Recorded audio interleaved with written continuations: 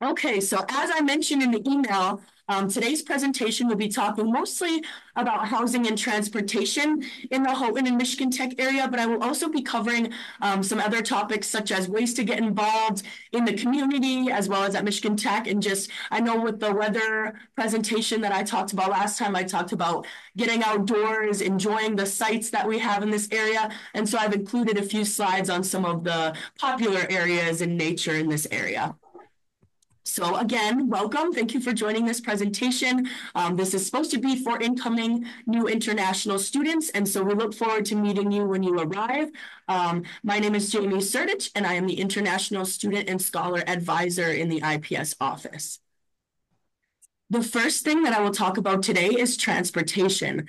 So I'm not sure if you've done your research, but Houghton, Michigan is a very, very small area. We are a very small, close-knit community. Um, and with that being said, a lot of the local community members have their own transportation.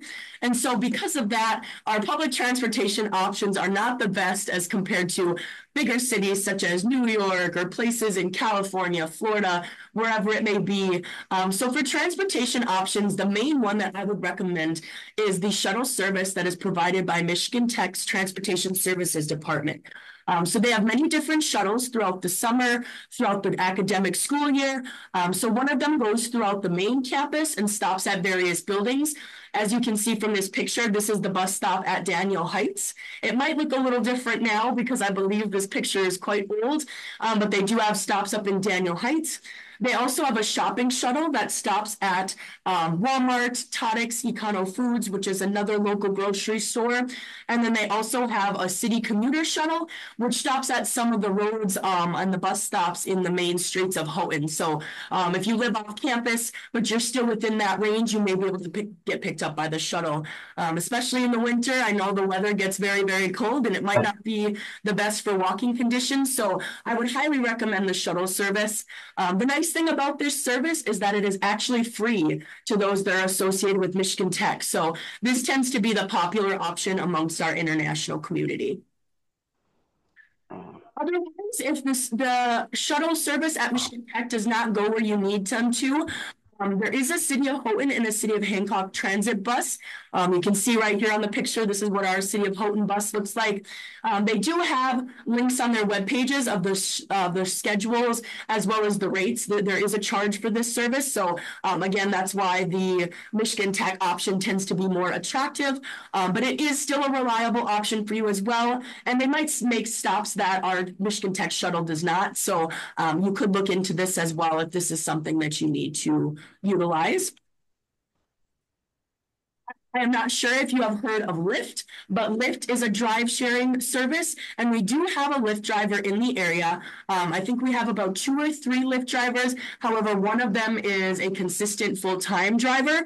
Um, so again, not the most reliable option, but especially with Lyft, they tend to um, be in service on weekends or on late nights. So if, you know, it's after hours with the Michigan Tech shuttle or the local transit buses, Lyft might be an option for you.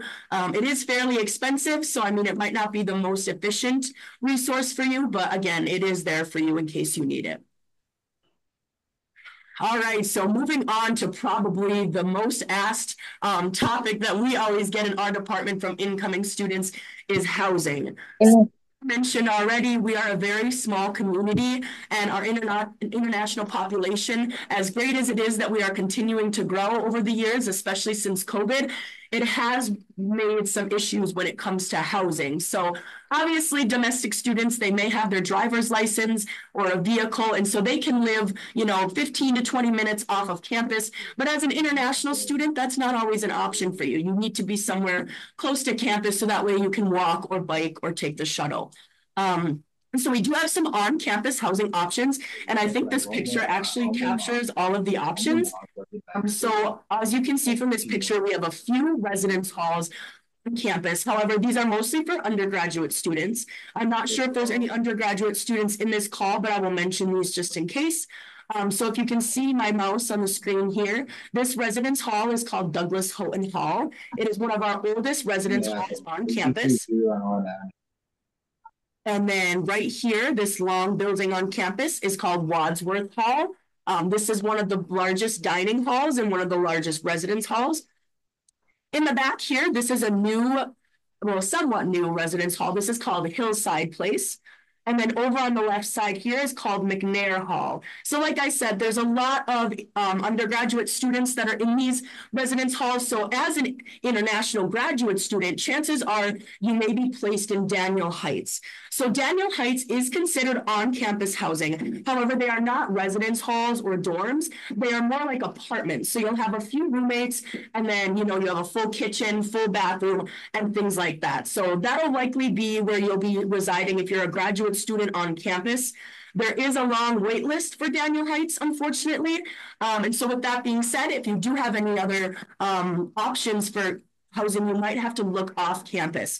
Um, so there is a website that is through Michigan Tech, and the link is over here. Like I said, you don't need to remember this because I will be, oops, I will be posting this um, on our social medias, but there is a website that includes all of the off-campus housing options and they actually include them near Michigan Tech. So this is within, you know, walking distance, biking distance to campus. So if you don't have your own license or your own vehicle, this might be a great option for you.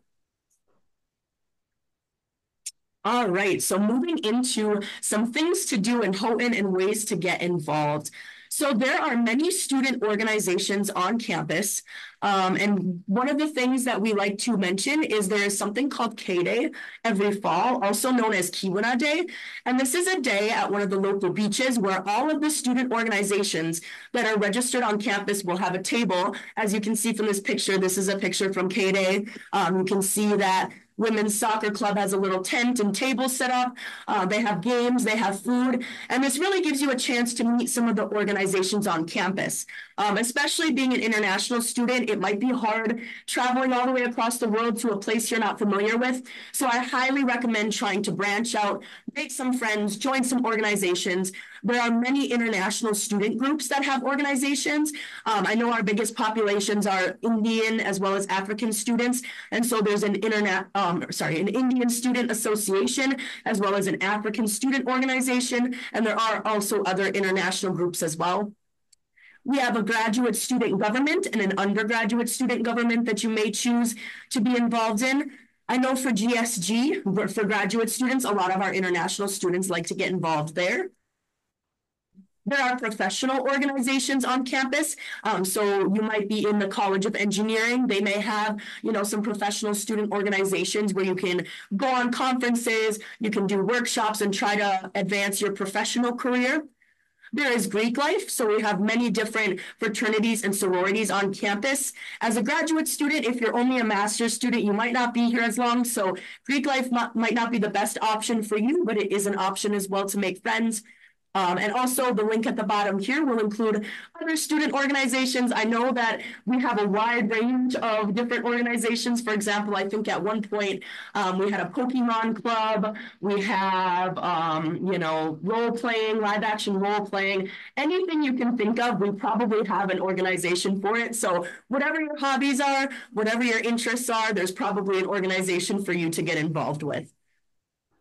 And like I've mentioned many times now, we are a very small, close knit community. And so, because of that, we really, really depend on volunteers to help with local community events. So, if volunteering and helping others is something that you're passionate about, there's many volunteer events that you can help out with. Um, one plug that I would like to put in for our department is every September, we have a Parade of Nations where we bring together all the international students. We have a parade, a multicultural festival. Obviously, we'd love for you to be involved with that stuff. But I mean, even if you want to volunteer to help us out and get everything planned and organized, we'd love the help. So uh, many volunteer opportunities to help, you know, pass the time and keep you busy while you're here.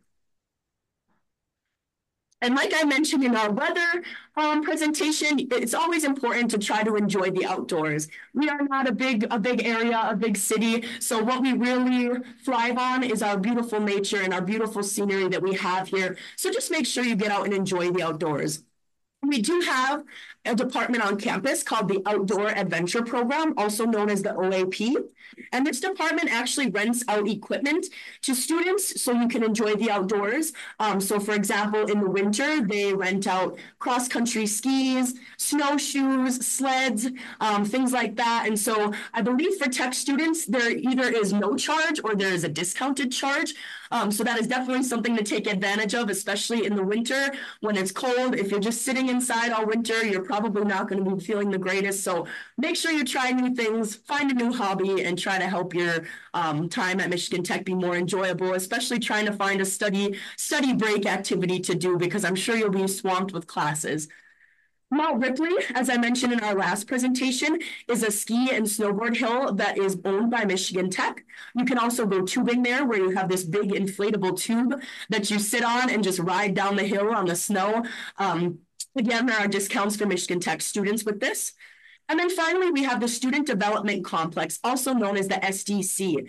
So there are a wide range of things that you can do at the SDC. They have a gym where you can play badminton, volleyball, basketball. They have tennis courts. They have racquetball courts. They have a swimming pool, a sauna, which I'm not sure if you guys know what a sauna is, but it's a very popular thing up here in the Upper Peninsula as it's a Finnish thing. And this is obviously has a lot of Finnish heritage. Um, it's basically a steam room. It's a very hot room um, that's that's made hot by different coals and you put water on the coals and it makes the steam come up. So very nice to utilize in the winter when it's cold outside. Um, but yeah, lots of things to do at the SDC. And the cool thing that as a Michigan Tech, you will pay what's called a student activities fee.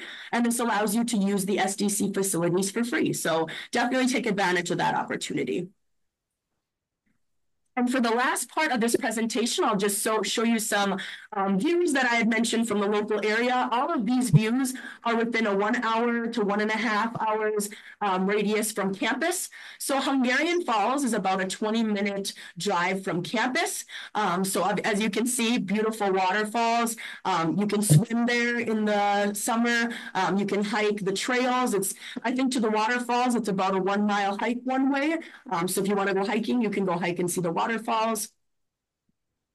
Brockway Mountain is in Copper Harbor, which is the uppermost point in the Upper Peninsula of Michigan. Um, I mentioned the fall colors in my last presentation, and as you can see, this is a view from on top of Brockway Mountain in the fall. So you can see how beautiful the trees look. Honestly, it's it honestly looks like it's fake when you're up there because it is just so breathtaking. So definitely, I would recommend visiting Copper Harbor while you're here. Even in the winter, it's really pretty the trees yeah, um, and snow on the trees. It's very nice. So um, definitely a must must visit place. Prince's Point is a point on campus. If you are in the Rozsa parking lot, which is our performing arts building on campus. This is just a short walk down the hill. There's a little beach area, as you can see the water. Um, there's some benches. There's also a bonfire pit. So a lot of our students like to go down there during the summer and have a bonfire, make s'mores, make food over the fire. So um, that's definitely a most convenient spot to visit because it's only a short walk from campus. The Nara Nature Trails are about a few mile um, drive or walk off of campus. So this is a little part across the road. Um, from the Nara Nature Park Chalet. And so you can see it kind of covers over the water. There's a nice dock there. You can go on a walk. It's all spread throughout the water. Um, you can go hiking on these trails. Again, like I mentioned, copper country skiing. Obviously, um, you can't ski in this area, but there's a place across the road that also has trails that are more fit for skiing. And also we have an animal shelter, the Copper Country Humane Society. So like I mentioned, getting out, getting out and getting involved in volunteering, the Humane Society actually accepts volunteers at all times. So, you know, if you're needing a study break, if you're feeling overwhelmed, you can go to the Humane Society, you can walk some dogs, you can pet the cats and just kind of take that moment to de-stress and, and, you know, volunteer and help out the animals. So that's kind of what's going on in the Nara Nature Trail area. Here is a picture of Mount Ripley, the ski hill, snowboard hill that I had mentioned before. Um, this is actually right across the water from campus. So where I am right now in the administration building, I can look out my window and see Mount Ripley. So it's kind of cool. It's just across our bridge. And obviously this is what it looks like in the winter. You can see that there's a few different ski ski routes. So um, even if you don't know how to ski or snowboard, you know, they always have lessons. So you can try to try to pick up a new hobby. I mentioned the student development complex. Um, obviously, Michigan Tech does have a hockey team, and this is where they play in the John MacInnes Student Ice Arena. Um, so obviously, this is when it's empty, but during the hockey season, almost every game you will see all of these seats filled. Hockey is a very, very popular sport up by us. Um, so a lot of students, again, you can get the first 500 students can get in free to the hockey games. So if you want to go to them, make sure you're there early because people start lining up hours in advance. You'll see them sitting in line, playing games, eating pizza. Um, it's really a big deal here. Um, so definitely make sure that you visit a hockey game while you're here. Otherwise, I mentioned winter activities. There are skating, open skating hours during the winter that will be held in the student ice arena. Um, so you'll just come here. There's, I believe, a $5 um, ice skate rental. And then I think it's free for you to get in. So it should be only $5 if you don't have your own skates. Um, so definitely another activity you can try out while you're here. And that is all that I had for this presentation. I know that I have some questions already, so I'm going to stop sharing. If you have any questions, feel free to put them in the chat and I'll go through and answer them. So is there a gym we can use? Correct. In the student development complex, there is a multi-purpose gym, as I mentioned, um, and there's also a fitness center if you're looking for, you know, lifting weights, treadmills, other type of cardio machines, rowing, ellipticals. There is also a fitness center in the SDC that you also get free access to as yeah. Um, is there a running track? Yes, there is in the multi-purpose room at the SDC. There's a little, there's a few lane track that runs around it, so you can utilize that as well. I got an accommodation at Daniel Heights with one bedroom. I want to ask if my roommate and I will be sharing the same bed because when I watched the 3D version of Daniel Heights, I saw only one bed. Um, so I cannot 100% say for sure whether or not that is the case. The housing department will probably be your best resource to ask that question to. I will put their email in the chat. Um, I would say that you probably would not have to share um, a bed though, you might have to share a bedroom, but they might maybe have a bunk bed situation, but it's probably best to follow up with housing just to confirm. Um, so that way you can plan accordingly. But I know a lot of the Daniel Heights apartments also have um, couches in the living room. So I mean, if one of you chooses to sleep out there, you could. Otherwise, you may be able to bring your own mattress um, and put that on the floor and sleep on there. Any other questions?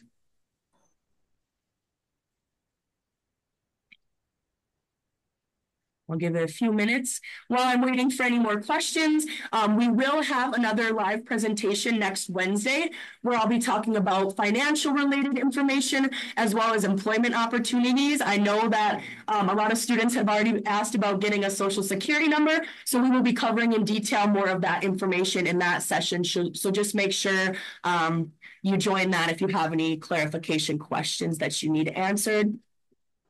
How long does the winter usually last? Good question. Um, so it really depends on the the year because this past winter we had a very mild winter. I think it was only about four months and there wasn't really that much snow. However, we could see winter lasting from you know, three months all the way to seven months. So it really depends. Um, we've had more and more mild winters the past few years, so maybe winter will get shorter and shorter. Um, but we do end up getting pretty big storms every once in a while and have, you know, feet of snow on the ground. So hard to really say, but about that. I want to join those student activities. Is there any chatting group for them? Um, so specifically, I think on what is called the involvement link, there should be a contact email um, that each student organization has. So what I'll actually do right now is I will link the involvement link in the chat and you can actually see what student organizations are on campus. And if you click them, there should be a contact email for you to contact one of their e-board members and they might be able to add you to any chats that they may have. So feel free to check that out for you. How far is Upper Daniel Heights from University? So Upper Daniel Heights, obviously, as you can tell from the name, is the upper level of Daniel Heights. So it is a walk from campus, but I did mention our shuttle service, and the shuttle does stop at Upper Daniel Heights. So you can definitely use that if it works with your schedule. Um, otherwise, if you end up walking, especially since it is pretty far and it is uphill, make sure if you're traveling in the winter that you allow yourself enough time to walk to campus because it does get very slippery, but I would definitely utilize the um, shuttle service for that. What is the average temperature? So I think last time when I did the weather um, PowerPoint, I'll do it in Celsius. Typically, we see a high of negative five degrees Celsius in the winter and a low of negative 17 degrees Celsius. So I'm sure you're panicking right now. I know a lot of you are from warmer cli climates. So um, definitely make sure you plan accordingly with your clothing and make sure you dress warm and you, like I said, you plan for your travel so that way you don't end up slipping or, you know, getting into a car accident if you're driving. Will transportation be available for students from the airport to campus? So good question. Um, if you're talking about the Hancock CMX airport, we are providing an airport pickup service from August 8th to September 8th for $20. Um, so our student worker will pick you up at the airport and bring you to wherever you're residing. If you are living on campus at that time and it's after hours, you can still pick up your key for housing um, at public safety. And so our student will make sure to drop you off there and then bring you to your house of residence. Um, so if you are interested in that, you can find information on that on our newly admitted students webpage under the um, travel from Hancock CMX Airport section. So I will also link that in the chat for you here. All right. In case you are not able to secure housing, um, what do you do as an international student? So as I said earlier, there is a wait list for housing on campus. So if you're not already on that wait list, make sure you email housing. Otherwise, there was that off-campus housing webpage that I had linked in our presentation. So I would recommend starting to look into some options there off campus. Um, otherwise, you could reach out to some of the student organizations. Um, I know, for example, the African Student Organization, they're very, very helpful at, you know, welcoming their new students and trying to help help them find housing and accommodations. So um, like I mentioned, student orga organizations, they're great to get involved with just to meet new people, but they're a great resource if you're a new student coming here. And yeah, again, um, the comment about not being able to find a room, I would also recommend the same thing, um, reaching out to housing, getting on the wait list and trying to look off campus.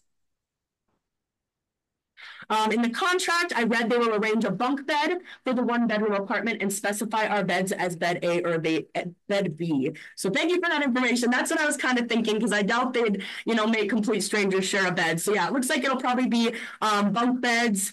Um, you know, obviously they're probably going to be a little bit of dorm style rooms. But like I said, Daniel Heights is more apartments where they have, um, you know, a kitchen, a bathroom, a living room area and stuff like that.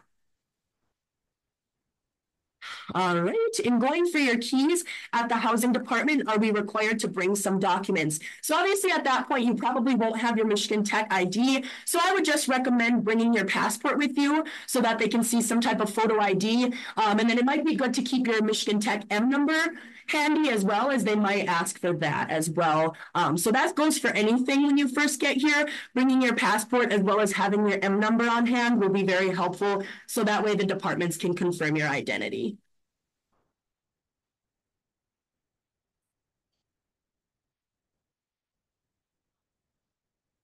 Any other questions? Are there intercultural activities organized yearly? Um, so in terms of international students, like I mentioned, our department holds um, the Parade of Nations, which is our biggest event of the year. Um, and so that is definitely what I'd recommend for um, international students. But intercultural, um, there's always or, uh, organizations holding events on campus as well as student leadership and involvement.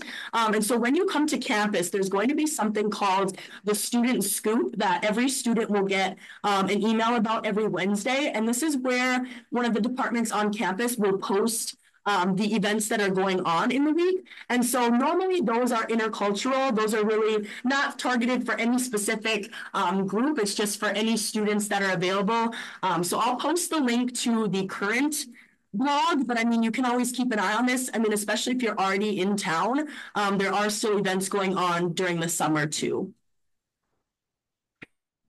How do I apply for on-campus jobs? There are very few openings on the Handshake handle. Um, so yeah, definitely Handshake is the one that we always recommend. Um, however, if there's nothing that you can see that you know is interesting to you or that works with your schedule, you could reach out to departments individually and ask them if they have any openings for the fall or the spring or whenever it may be. Um, international programs and services, I'll say right now, we aren't currently hiring. Um, but if we ever hire, we will either send an email out to all international students or we will post on Handshake. So I would just recommend, you know, going around campus, asking any departments if they have anything available. Otherwise, your academic department, they might have, you know, research positions available for you or something like that to help you get involved with your department. So that's always an option for you. Is there any form of transportation from Chicago to campus aside from the arrangement from Hancock to campus? And I also had a similar question about asking for a ride from Chicago to Houghton. Um, so for both of those answers, unfortunately, we are not having our Chicago O'Hare pickup this year. And so I would recommend to all students to fly directly into Hancock CMX Airport and then utilize our, our pickup service from Hancock CMX, just so you can guarantee a ride. Um, otherwise, I mean, we do have local taxis that if you aren't here in the time that we're providing our service, you could try to call those um, and get a ride from them. Otherwise, um, from Chicago, I believe there also is um, a bus that will drive. It's not through Michigan Tech at all. Yeah, you're going. It's a bus that goes um, from Chicago all the way to Houghton. I think it's called Indian Trails, if I'm not mistaken. Um, and they actually do stop on campus. So even if you do take the Indian Trails bus, we can also pick you up from that bus stop and then bring you to your place of residence if you're landing within that um, time frame. We have our bus service. So you, again, you can fill out our Google form and purchase a ticket if that pertains to you. Um, However, the one thing I will mention, because I know I invited everyone that has been admitted to this in these presentations, is we are only offering these services if your visa has already been approved. So that way we don't have to deal with any refunds or trying to get people's money back if they don't end up getting approved. Can I get an SSN number without a job? And can I open a bank account without an SSN number? Um, so unfortunately, you will not be eligible for a social security number unless you are receiving funding from the United States or have a job um, on campus. There are some banks in the local area. The one that I would recommend is Flagstar Bank, and I'll put that in the chat. Um, they are one of the banks that are closest to campus. They're within walking distance from where I am in my building right now. It's just right across the road. Um, they do not require a social security number to open an account. Um, and so because of that, they're very, um, you know, helpful with our international community, especially when it comes to international wire transfers and things like that. Um, so when you get to campus, I would definitely recommend visiting Flagstar and getting set up there. Any other questions? I guess now that I have another brief moment, I'll just put our email back in the chat as well. If you do have any follow-up questions, feel free to reach out to us with anything that you may have any doubts or concerns about. Um, even if it's not something our department can handle, definitely reach out and we'll try to get you to someone that can. Um, I know insurance is also a frequently asked question. So here is student insurances email as well if you need that. Um, otherwise, I'll give another minute or two for any last minute questions we may have. Um, like I mentioned, this will be posted on our YouTube channel as well as our Facebook if you need to refer back to anything I talked about today or any questions that I had answered.